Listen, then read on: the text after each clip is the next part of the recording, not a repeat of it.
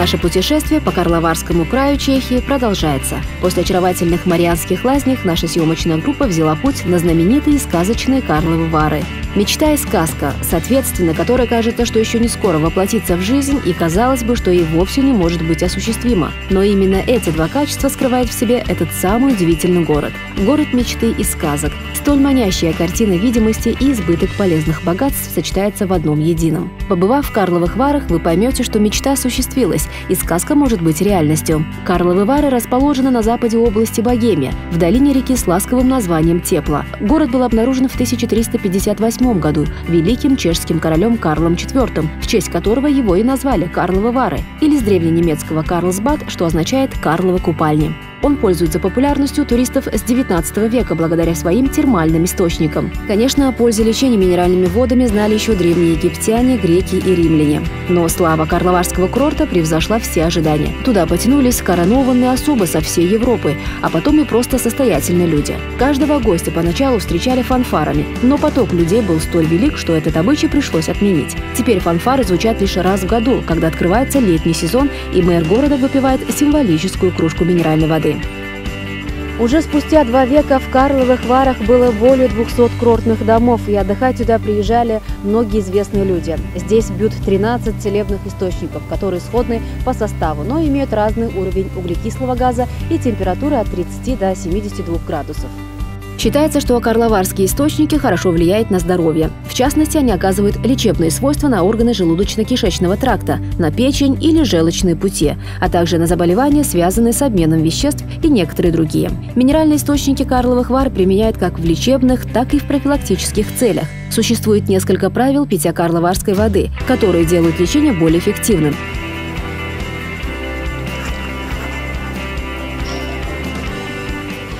Воду пьют медленно, небольшими, смакующими глотками специфических для курортов вот таких вот фарфоровых кружечек.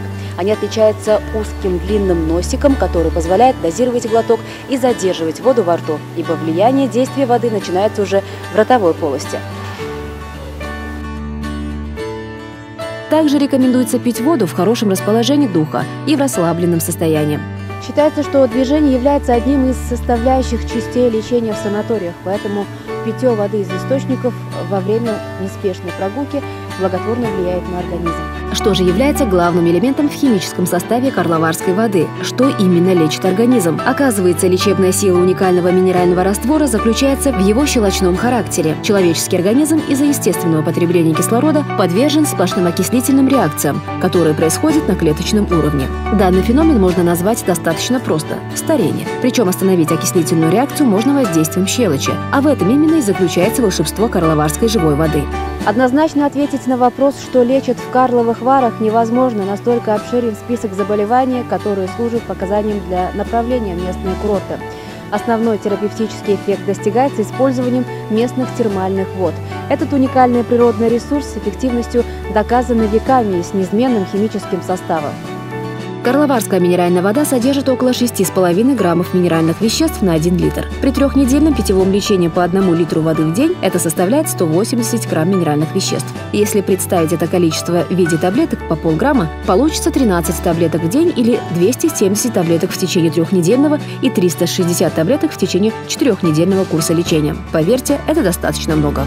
Чешский термальный курорт Карловы Вары был известен людям с давних времен. У многих его источников такой солидный возраст, каким не могут похвастаться иные города. Так, например, первый источник на месте, где возвышается величественная мельничная колоннада, был обнаружен более 400 лет назад.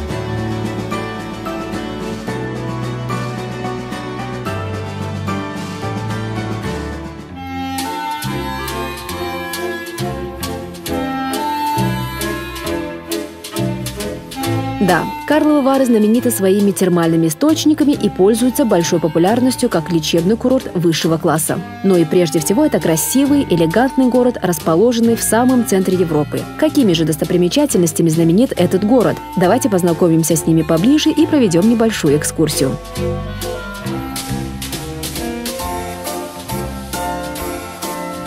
Мы выше упомянули о мельничной колоннаде. Это великолепнейшее строение города расположено на берегу реки Тепла. Автором проекта является архитектор Йосиф Зиток. Мельничная колоннада весьма интересна для путешественников достопримечательность Чехии. Она представляет собой строение, выполненное в стиле неоренессанса. В длину занимает 132 метра. Ширина составляет 13 метров. Под крышей колоннады размещено 5 источников. Мельничный, скальный, Лубише, Русалка, князь Вацлав. Колоннада насчитывает 124 колонны. Сегодня это место вызывает восторг и восхищение каждого, кому посчастливилось там побывать.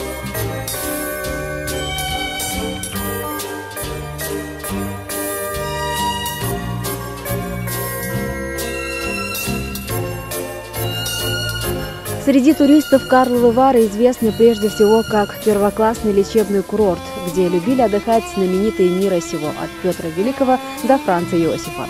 Однако мало кто знает, насколько велика и обширна история этого города, изучать которую проще всего по Карловатским церквам и костелам. Один из таких самых древних и красивых храмов города – костел Святой Марии Магдалины. Римско-католический храм возвышается в самом центре курортной зоны Карловых Вар. Костел в стиле высокого барокко относится к крупнейшим памятникам этого стиля не только в Карловых Варах, но и вообще в Чехии. Он был построен в 1737 году на месте бывшего готического костела. Его светлые стены, высокие своды и обретшие благородный зеленоватый цвет вершины башен притягивают взгляд каждого гостя не случайно.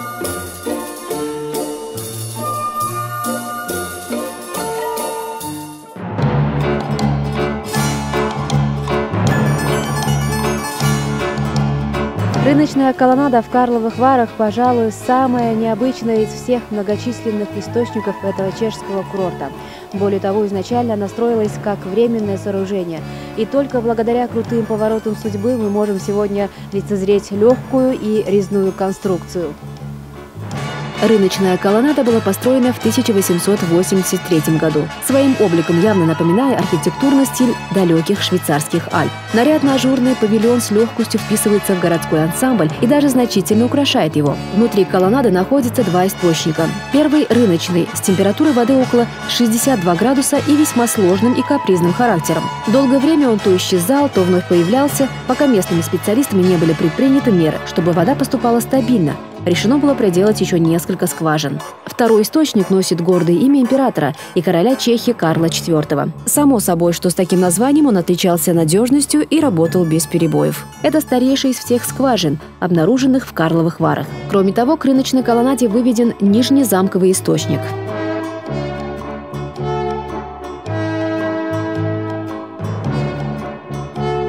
Дворжиковые сады – это небольшой, но очень уютный и красивый парк в центральной части Карловых Вар. По сути, они состоят всего лишь из нескольких аллей, где установлены памятники и скульптуры, а также где можно просто посидеть в тени на удобных скамейках.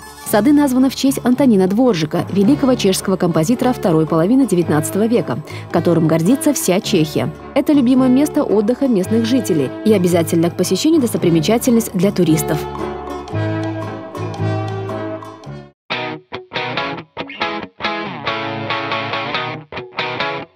Карловы Вары – курорт очень популярный. В разное время здесь бывали и великие правители, и известные деятели искусства, и философы. Само собой, что город, который принимал и принимает столь значимых особ, просто обязан иметь подобающее место для их размещения. Знакомьтесь, Гранд Отель Пуп. Пожалуй, самый элегантный и красивый отель не только в Карлсбаде, но и во всей Чехии. Среди небольших пряночных домиков Карловых Вар необорочный Гранд Отель выделяется и своим размером, и роскошью фасадов. Неудивительно, что эта гостиница то и дело мелькает не только в самых популярных европейских фильмах и сериалах, но и в голливудских шедеврах. Например, в фильме «Последний отпуск» Гранд Отель Пупп был показан во всей своей красе. И если у вас есть непреодолимое желание отобедать в ресторане, где бывали любимые актеры, то добро пожаловать в Пупп. Welcome to Grandhotel Pupp. You really say it like that? Pupp, Pupp. История самого роскошного карловарского отеля «Пупп» неразрывно связана с историей развития самого лечебного курорта. Если быть точнее, то открытие гостиницы состоялось в начале далекого 18 столетия, когда город более или менее оправился после события разорительной 30-летней войны. В 1701 году по указу городских властей было решено построить первый зал будущего гранд-отеля. Практически с самых первых дней своего существования отель не испытывал недостатка в посетителях, причем все они были весьма важными особами. И это неудивительно, учитывая популярность достопримечательность самого курорта и роскошную обстановку будущего гранд-отеля «Пуп». К счастью, интерьеры той самой гостиницы сохранились до наших дней. Посетители встречают роскошное здание, напоминающее самый что есть дворец, богатый декор фасада, обилие лепнины, высокие светлые окна, кованые балконы, фонтан во внутреннем дворике и прекрасно вышкаленный персонал. Все это сразу же заявляет о высоком статусе и давних традициях заведения.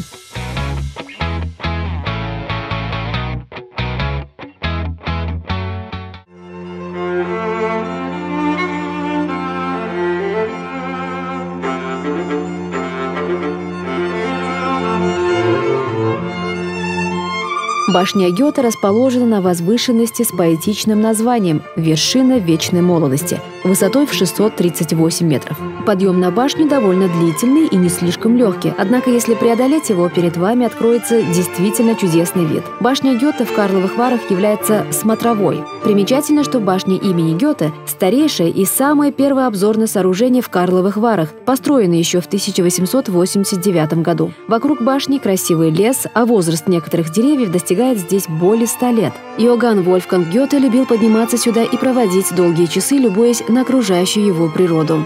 Башня Гёте – конечный пункт туристического подъема от улицы Гржбитовной.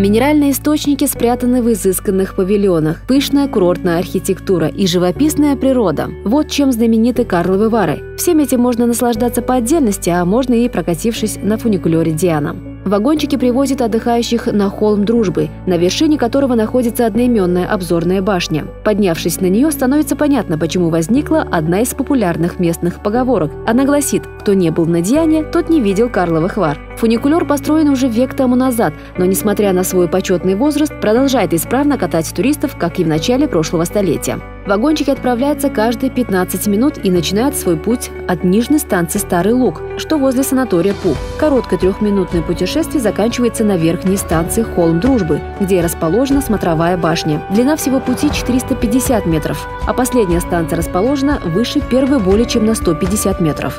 Во время поездки фуникулер останавливается, есть возможность выйти погулять, осмотреться и сесть в следующий вагончик.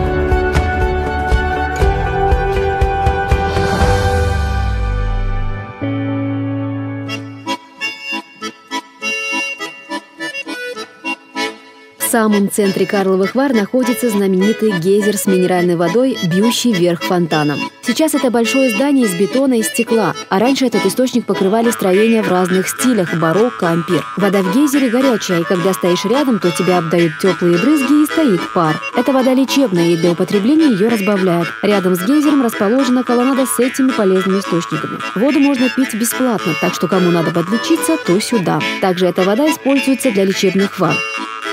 Самый знаменитый источник Карловых Вар Гейзер расположен в одноименной колоннаде. Только представьте, Гейзер извергает воду из глубины в 2 километра, а его температура составляет плюс 72-73 градусов Цельсия. История источника берет свое начало с середины минувшего тысячелетия, хотя тот вид, который гейзер имеет сегодня с колоннами и крытыми навесами, он получил в 70-х годах прошлого века. В прогулочном зале колоннады можно попробовать воду из отдельных фонтанчиков разной температуры. Я восьмой год, в одно и то же время.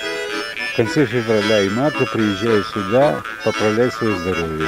Я уже был на многих курортах. Рекомендую Карлову. Здесь аура, обслуживание и вообще отношение к людям замечательное.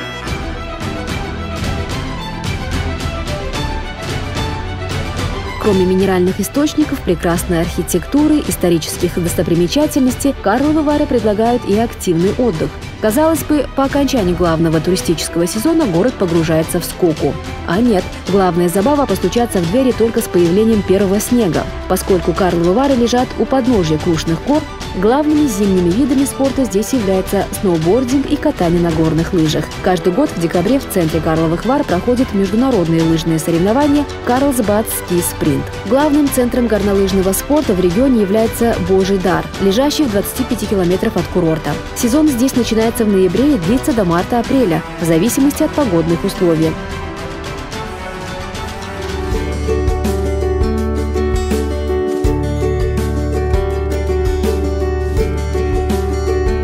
Практически каждый месяц в городе происходят культурные события, которые помогают внести разнообразие в курортную жизнь. Именно широко известные культурные события привлекают в Карловы Вары больше всего после курортного лечения туристов. В Карловых Варах проводится много различных акций европейского и мирового значения. Музыкальные фестивали, посвященные Моцарту и Бетховену, а самым знаменитым является Международный кинофестиваль Карловы Вары. Каждый найдет что-то на свой вкус. Молодежь обычно предпочитает кинофестиваль. Джазовый фестиваль чаще всего посещает среднее поколение. Те, кто постарше, возможно, склонятся к посещению концертов, устраиваемых в рамках дворжиковой осени.